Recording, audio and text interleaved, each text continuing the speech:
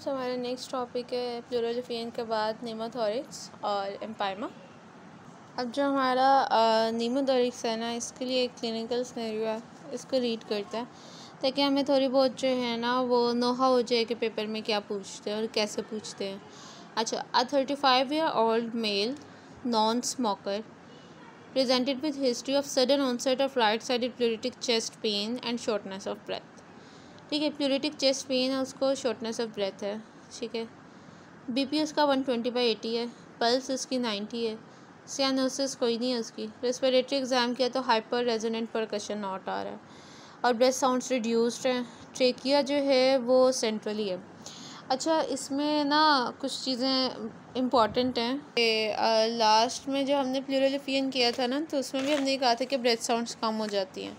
जो प्लूरलिफियन होता है ना, इसके अंदर ब्रेथ साउंड्स कम होती हैं। लेकिन जो नीमोथोरिक्स होता है ना, इसके अंदर यूँ समझ लें कि एबसेंट ब्रेथ साउंड्स ठीक है? यानी आप स्टेथ रखते हैं और आपको कोई ब्रेथ साउंड ऐसा सच आ नहीं रही ना, इसका मतलब नीचे लंग नहीं पड़ा हुआ, नीचे एयर है नीमोथोरिक्स है वहाँ पर तो ऐसी कंडीशन में, इसके अलावा प्लूरल प्लूरलिफियर में तो आपको परकशन नोट डल मिला था ना, ठीक है, कि नीचे कोई फ्लूट पड़ा हुआ है। नीमोथोरिक्स में नीचे हवा पड़ी हुई है, ठीक है? इसके अंदर जो आपका परकशन नोट है ना, वो हाइपर रेजोनेंट होता है। ठीक है? यानी कि जो नॉर्मली आपको रेजोनेंट होता है ना, वो नहीं हाइपर रेजोनेंट आएगा इसमें। आप कंपेयर भी कर सकते हैं। अब नीमोथोरिक्स में इसमें उसने आपको बताया कि फाइंडिंग्स इसकी ये होती हैं। आपको हाइपर रेजोनेंट चेस्ट मिलती है और ब्रेथ साउंड्स जो है ना, वो रिड्यूस्ड होती हैं या एबसेंट होती हैं। ट्रेकिया डिविएट कर सकता है। ठीक है? हो सकता है ट्रेकियल डिविएशन हो। प्लोरिटिक चेस्ट पेन मिलती है शॉर्टनेस ऑफ़ ब्रेथ होती है। ठीक है, बाकी इसने क्वेश्चन में क्या पूछा हुआ है? डायग्नोसिस उसकी टियोलॉजी पूछी हुई है। Other types of this illness और उसकी मैनेजमेंट पूछी हुई है। अच्छा देखें।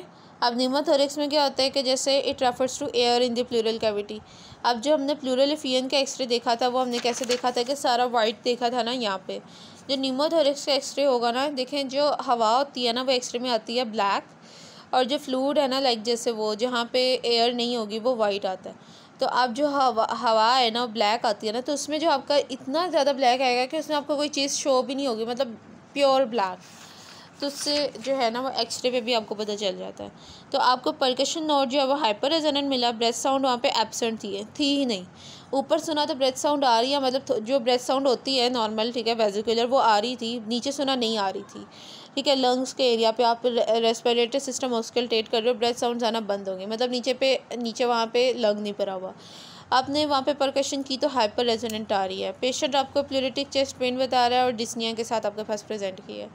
अब आपके पास दो चीज़ हो सकती है, जो नीमोथोरिक्स है ना स्पॉन्टेनियस नीमोथोरिक्स हो सकता है। इडियोपैथिक होता है, बहुत कॉमन इडियोपैथिक होता है। या जो है ना, ये पैरासेप्टल एम्फाइसीमा है, ठीक है, कि सब प्लूरल ब्लैब था, वो रप्चर कर गया। ठीक है, मार्फन सिंड्रोम के साथ हो सकता है। इसमें तो बाकी फाइंडिंग्स ही होंगी ना, काफ़ी सारी और भी।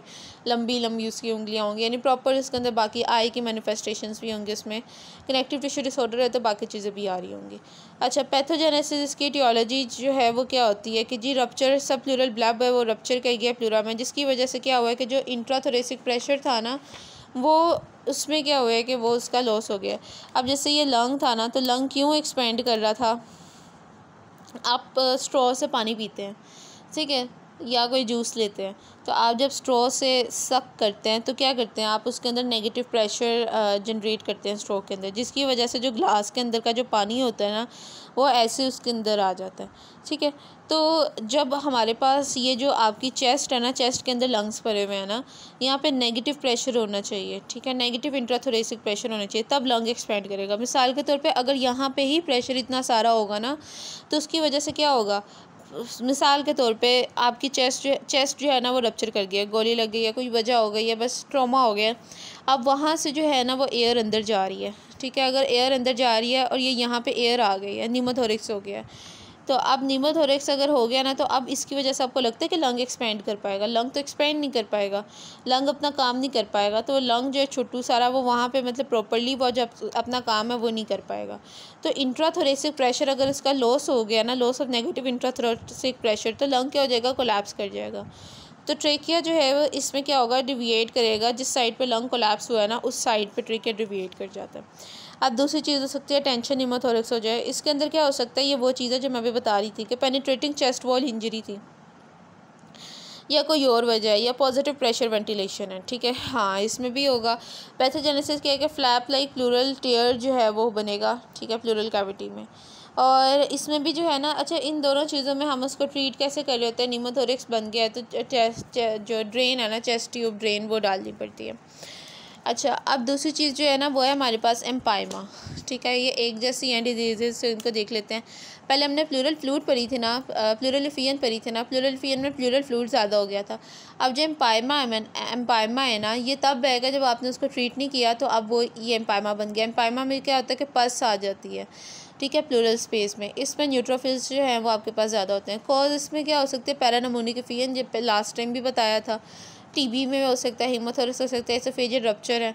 ठीक है, इन सारी चीज़ों में हो सकता है। होगा क्या कि आप पेशेंट है आपके पास, वो हाई ग्रेड फीवर है, उसको रिमिटेंट बार बार बुखार हो रहा है। ठीक है पलमंदरी इन्फेक्शन है उसको, ठीक है और बाकी सारी उसकी जो अपनी डिज़ीज़ के साइन एंड सिम्टम्स है, वो उसके साथ प्रेजेंट कर रहा है, जिस जो उसका कॉज है। लेकिन आप उसको एंटीबायोटिक दे रहे हो, ठीक नहीं हो रहा।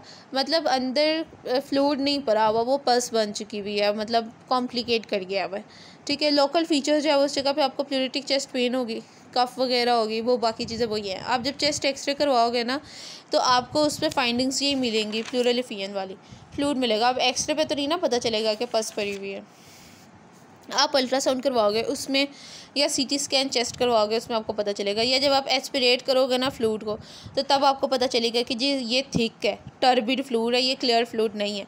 और बाकायदा इसके अंदर जो है ना, वो न्यूट्रोफिल काउंट जब आप देखोगे, वो काफ़ी ज़्यादा होगा। जब आप उसमें ग्लूकोज कंटेंट देखोगे तो वो आपको सिक्सटी एमजी पर डेसीलीटर से कम मिलेगा। एलडीएच जो है, वो जो है, वो ज़्यादा होगा।